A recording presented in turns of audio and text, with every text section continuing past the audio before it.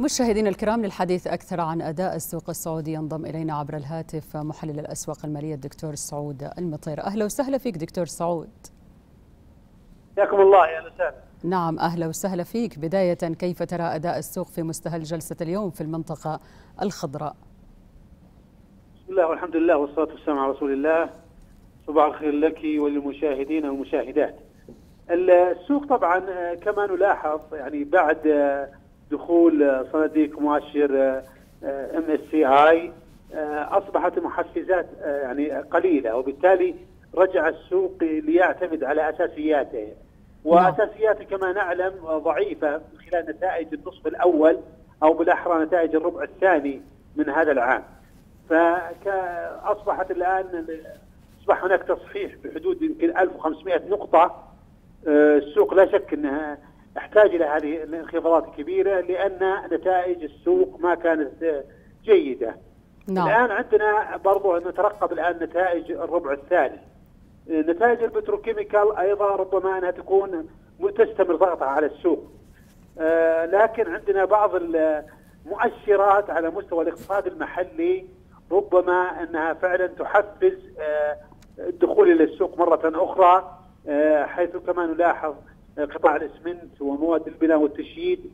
هناك تحرك في هذه الشركات لأن البنية التحتية لبعض لكثير من مشاريع الرؤية 2030 بدأت أو قاربت على البداية وهذا شك يتطلب طلب كبير من الاسمنت وكذلك مشاريع كبيرة. هذا ربما يكون محفز الفترة القادمه. نعم، دكتور سعود قيم التداول لا زالت يعني تعتبر ضعيفة أو ليست كما في السابق، هل هي مثلا تجهيز لمرحلة الطرح الأكبر عالميا وهو أرامكو؟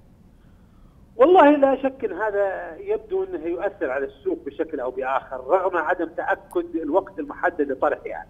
هل هو فعلا مع نهاية عام 2019 أو في عام 2020 ما زالت الأمور غير واضحة لكن نعم هناك بعض يعني من يرى سبب انخفاض السيولة لهذا السبب لكن أتصور أن عندما يعلن عن طرح ارامكو أتوقع أنه سيكون في وقت طويل جدا فالمفروض أننا لا نستمع للإشاعات وإنما نستمع للأخبار التي تصدر من المصدر فعلا المصدر الأساسي وليس من نعم.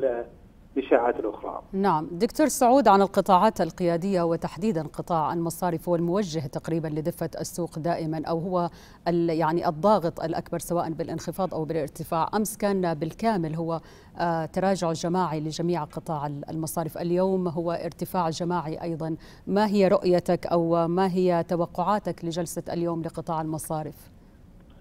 هو طبعا أكيد السوق حقق مكاسب قبل التصحيح الأخير حوالي 15% ثم البنوك فعلا صار عليها تصحيح كبير جدا وخفضت مكاسبها ويعني الآن شبه انعدمت تقريبا المكاسب اللي حققناها في عام 2019 نعم.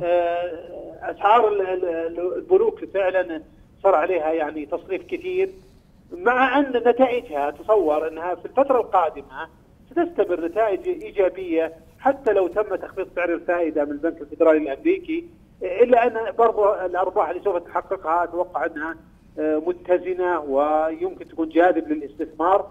البنوك أتوقع أنها ستواصل المسيرة مع هذا التصحيح البنوك ستعود مرة أخرى للارتفاعات نعم. أبرز المحفزات اليوم للمستثمر أو المتداول في سوق الأسهم السعودي والتي ينتظرها أيضا المؤشر وتؤثر أيضا على مزاج المؤشر برأيك حتى يسجل مستويات جديدة. ما هي دكتور سعود؟ والله المحفزات على المستوى العالمي سلبية. يعني لو جئنا للاقتصاد العالمي وجدنا أن يعني هناك تشاؤم أن الاقتصاد العالمي ربما يحقق ركود اقتصادي أو ربما انكماش.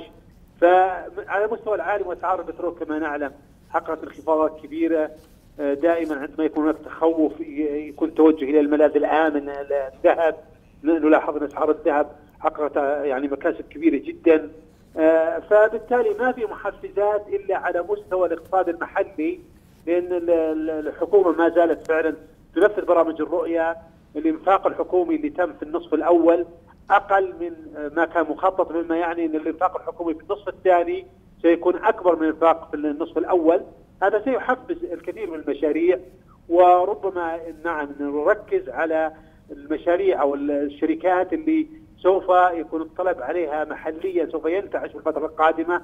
وذكرت قبل ذلك يعني قبل ذلك اللي هو كأمثلة قطاع الإسمنت أو شركات الإسمنت وشركات البناء والتشييد. نعم دكتور سعود يعني بعض المحللين وبعض وسائل أو قنوات التواصل الاجتماعي ذكرت قبل شوية موضوع الإشاعات خاصة الإشاعات في الاستثمار هي موجودة.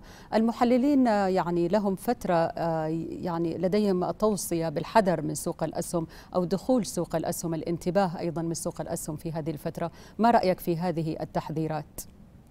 والله هو يمكن التحذيرات قبل يحقق هذه الانخفاضات الكبيرة يعني قبل ما ينخفض حدود 1500 نقطة. لكن بعد الانخفاضات هذه أصبح السوق يعني نوعا ما غير مخيف. وإن كان هناك ربما أن يكون هناك تصحيح بحدود إضافية يعني حدود 300 نقطة 400 نقطة. لكن مع ذلك ما ما أتوقع أنه مخوف بالشكل اللي ربما يعكسه بعض يعني المحللين الفنيين الذي ليس لديهم أسس مالية واقتصادية. نعم هل هناك فرق؟ هذا يعتبر يعني إجابة تفتح يمكن باب لسؤال آخر. هل هناك فرق بين المحلل مثلا الفني والمحلل المالي والاقتصادي دكتور سعود؟ وكيف يعرف المستثمر أن هو يعني هذا المحلل هو مالي وهذا محلل اقتصادي وهذا محلل فني؟ طبعا المحلل المالي والاقتصادي يسيرون في نفس الاتجاه. ويجب المستثمر دائما يبني قراراته على الفرص الاستثمارية بناء على المرأة الرؤية الاقتصادية والمحاسبيه أو المالية. فبكل تأكيد إن الرؤية هذه تعكس فعلا أين توجه السوق الفترة نعم. القادمة. نعم. الفرص ربحية الشركات هذه الأمور اللي تؤثر على مسار السوق، أما نعم. بقية ذلك التحليل الفني قد يخطئ وقد يصيب لكن لا يعول عليك. نعم، شكرا لك المحلل المالي الدكتور سعود المطير، شكرا لك أهلا وسهلا فيك.